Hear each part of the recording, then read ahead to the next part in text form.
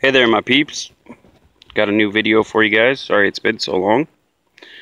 So I did some new upgrades to the mill. Pretty sweet stuff going on here. Let me show you what I got.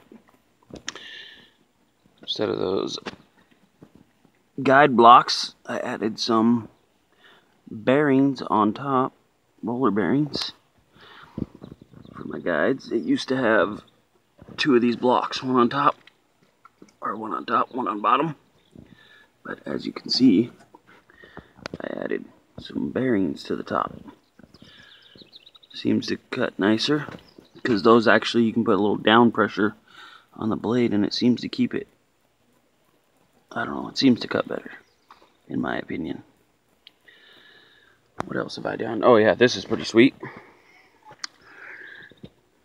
I stole this offline. This actually was a different guy's idea. I saw it but it's still pretty sweet. Manual up and down. So you, this has a roll pin. That's what holds it on. The uh, original handle. So I took it off, drilled a hole in the bolt that slipped over the shaft, put the roll pin back in, three quarter, sorry, 19 millimeter cordless drill, and we got manual up and down.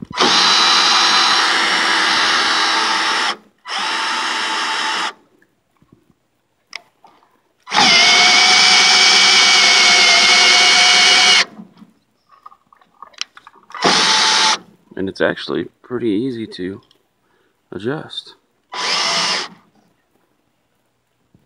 See if I can get this to focus.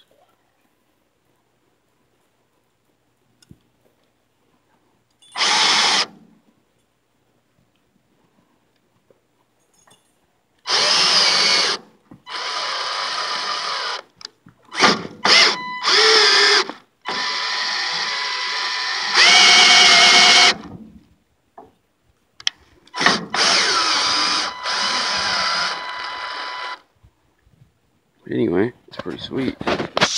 I like it. That old throttle was junk. I came out after this winter.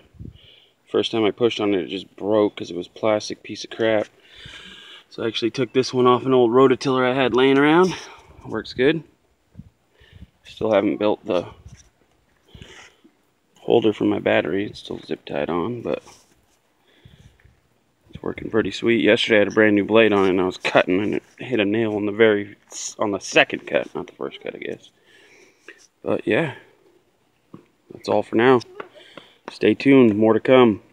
Got a lot of projects going on this summer. Thanks for watching. Subscribe.